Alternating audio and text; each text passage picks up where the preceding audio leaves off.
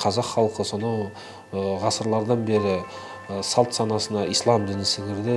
Сондықтан енді мұсылман елміз ислам мемлекеті деп айтпаймыз жалпы мұсылман елміз біздің ислам салт санамызға дәстүрімізге сіңген оны біздің тарихи жадымыз куә болған жыр дастандар үлкен зиялы қауымдар ол әрі де әл фарабилер бері де абай шәкәрімдердің еңбектерінен өлең жолдарынан біз осы исламның көрінісін ислам дінінің құндылықтарын көреміз. Барлық дін өкілдеріне барлық бағыт өкілдеріне ортақ құндылықтар бар.